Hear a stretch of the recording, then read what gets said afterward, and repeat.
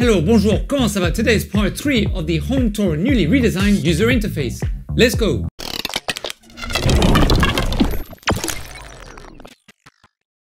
Welcome back to VR Essentials where we talk about the practical uses of VR. Woo!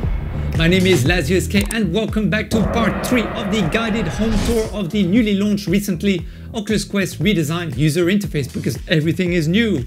Part 1 and part 2 by the way is in the link description below so go and check those out if you think that part 3 really helped you then I'm sure that part 1 and 2 will help you also. Today we're going to be looking at how to increase your storage space, enable your Guardian and also how to enable pass-through.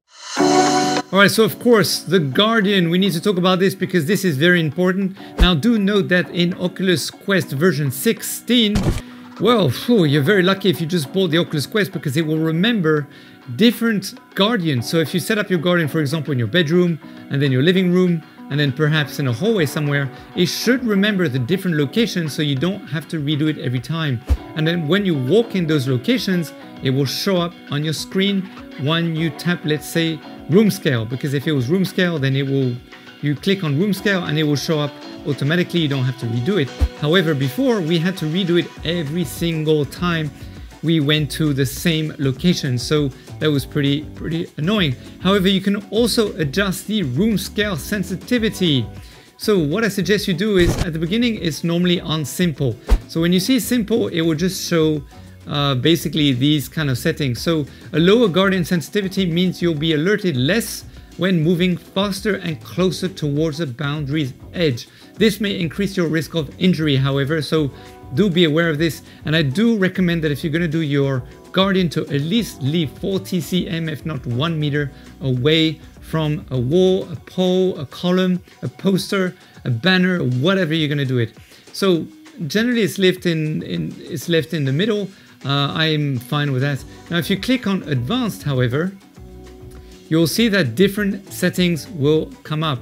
So now we can actually adjust not just the general setting of, of itself, but also the head set distance sensi sensitivity as well. So uh, I generally leave it around here. There's also the controller. So maybe your head is in the center, but your controllers, you're moving your arms out.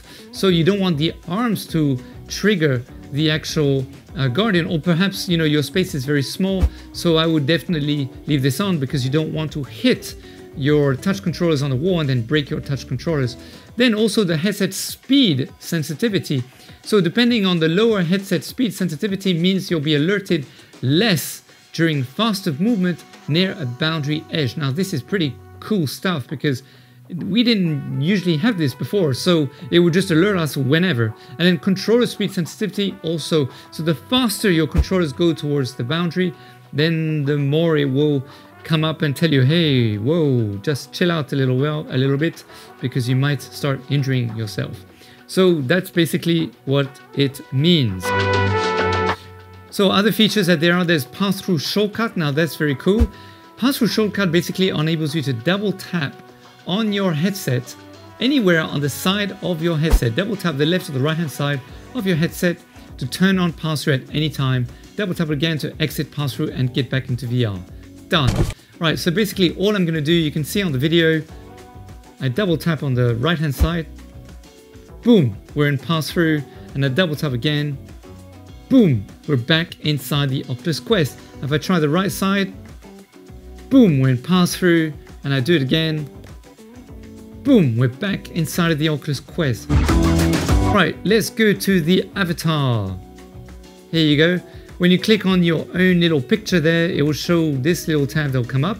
And then just click with your trigger on view full profile. And then another tab will load. So what you can do is you can actually edit your avatar and this avatar will be what other people see when basically you're doing like a party or you're in an app that uses Facebook, they'll be able to see that avatar. So this is me in, in Oculus. So if you meet this guy, looking like this, then that's with this voice, it's probably me.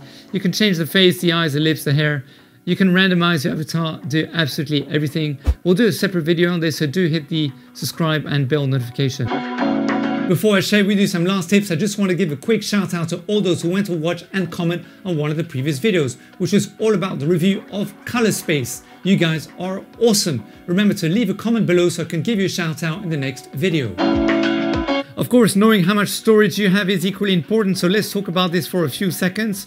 So you just go underneath to storage, and especially if you have the 64 gigabytes, then you do realize that, you know, Oculus, the actual software itself will take a certain amount of memory out of the box. So you will not have 64 gigabytes of free memory even if you don't have any apps inside of your Oculus Quest. Now the cool thing in this change is that it actually tells you what is eating up your memory, a bit like on a PC.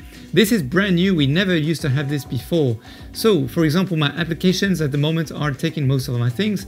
And again, you can mouse over and it will just tell you automatically how many gigabytes it's actually taking. So the system itself is taking 18 gigabytes from my Oculus Quest. Now that's big, that's a big chunk considering that you know 22 gigabytes is coming from my app so oof. and then you'll see the media here videos are taking 10 gigs almost 11 gigs and then unknown resources which is basically uh, SideQuest and you know any unknown things that are not uh, made by Oculus. This is where it tells me how many gigs it's taken me. Now for SideQuest things we'll talk this about in a separate video uh, because those who are new are not going to know what SideQuest is all right, so next, let's go to, whoa, let's just carry on in the storage. So what you can do basically is you can filter by application, virtual environment, images, video, downloads, etc., etc. And you can also filter by A to Z, Z to A, or largest first. So what you can do here is you just click, you can click on multiple different things and then conduct a one for all action. So you can uninstall or in my case, we're just going to cancel, or you can just uninstall one by one by one. So you, you know, maybe you don't want to uninstall everything at the same time or multiple things. So basically you can just do it one at a time as well. So that basically covers the storage. Thank you for watching today's video. I hope that you found it useful. Remember to hit the like and subscribe, share some love so that you and I together can grow the community and help as many people as possible in virtual reality. That's right. Alright, high five to you. Hit the bell so you get notified when I upload part 4 as well, which will be very soon. Until next time, take it easy, and as always, DJ, take it away.